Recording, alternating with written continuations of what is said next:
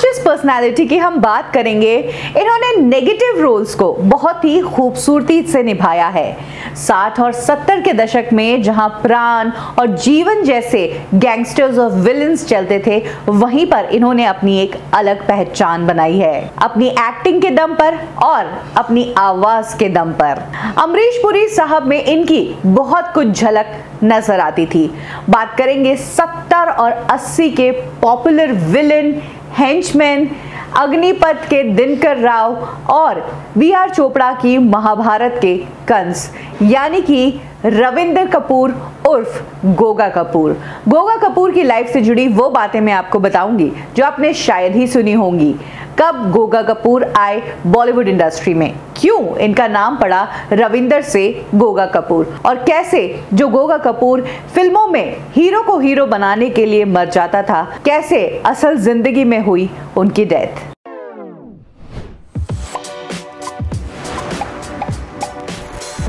गोगा कपूर का जन्म गुजरनवाला में हुआ था, जो कि पार्टीशन के बाद पाकिस्तान का हिस्सा रहा। गोगा कपूर को थिएटर से बहुत प्यार था। यही कारण है कि इंडस्ट्री में आने से पहले वो प्लेस किया करते थे और ज़्यादातर प्लेस इंग्लिश लैंग्वेज के ही हुआ करते थे। कई बार तो गोगा कपूर ने अमिताभ बच्चन के साथ भी कई प्लेस किए हैं, लेकिन अमिताभ बच्चन को ब्रेक जल्दी मिल गया। वहीं गोगा कपूर को इंडस्ट्री में पहचान थोड़ी लेट मिली। 1971 में एक फ़िल्म आई थी, जलवा, जहाँ से गोगा कपूर को बॉलीवुड इंडस्ट्री में चांस मिला। इसके बाद गोगा कपूर ने कुछ दूसरी लैंग्वेजेस की फ़िल्में भी की। बाद में एक टाइम आया जब गोगा कपूर को पहचान मिली। 1973 की फ़िल्म एक कुंवारा, एक कुंवारी। इसी साल एक और फ़िल्म आई थी जिसने बॉलीवुड इंडस्ट्री को दिया था एक बहुत बड़ा सुपरस्टार अमिताभ बच्चन के रूप में।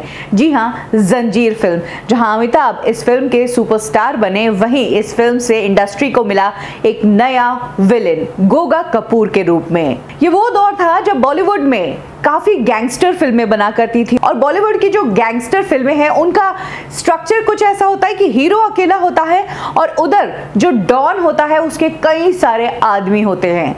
तो डॉन के कई सारे आदमियों में से उसका जो सबसे खास आदमी होता है, उसके रोल में अक्सर हमें गोगा कपूर ही नज़र आए। गोगा कपूर ने अमिताभ के साथ ज़्यादातर फ़िल्मों में काम किया है। और इन सभी फ़िल्मों ने जहाँ अमिताभ को स्टार बनाया है, वहीं गोगा कपूर को नेगेटिव रोल्स में स्टार बनाया है। इसके अलावा मनमोहन देसाई की ज़्यादातर फ़िल्मों का हिस्सा गोगा कपूर हमेशा रहते थे। बात करें अगर लेट सेवेंटीज की और एटीज की तो गोगा कपूर ने अपने करियर की टॉप और दमदार परफॉर्मेंसेस इसी दौरान दी थी। उन्होंने एक के बाद एक सुपर हिट फ़िल्मों में काम किया। मुकद्दर का सिकंदर, मिस्टर नटवरलाल, शान दोस्ताना, याराना, लावारिस, सत्ते पे सत्ता, कूली, शक्ति, बेताब, सागर, मर्द, ये वो सभी फ़िल्में थी जो उस टाइम की सबसे ज़्यादा पॉपुलर फ़िल्में थी और आज की डेट में ये सभी फ़िल्में बॉलीवुड की क्लासिक और कल्ट फ़िल्मों में मानी जाती है और इन सभी फ़िल्मों में गोगा कपूर ने अपनी दमदार परफॉर्मेंस दी थी।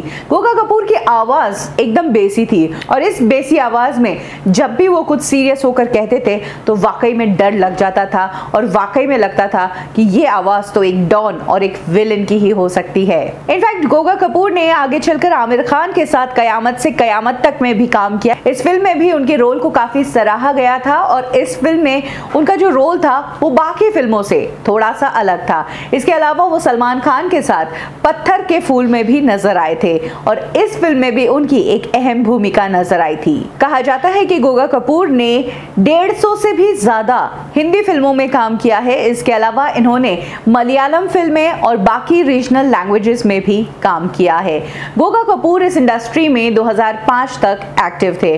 उसके बाद 2011 आते आते उम्र से रिलेटेड उन्हें बीमारियाँ होने लगी। गोगा कपूर ने 70 की उम्र में इस दुनिया को अलविदा कहा। छह महीने से वो बीमार चल रहे थे, जिसके तहत उन्होंने 2011 में अपनी आखिरी सांस ली। गोगा कपूर अपने पीछे छोड़ गए हैं। अपनी एक वाइफ जिसका नाम है शांति कपूर। इसके अलावा उनकी तीन बेटियाँ हैं। एक पायल, जो कि खुद एक एक्ट्रेस है। इसके अलावा शैली और सोनू, ये दो और बेटियाँ हैं।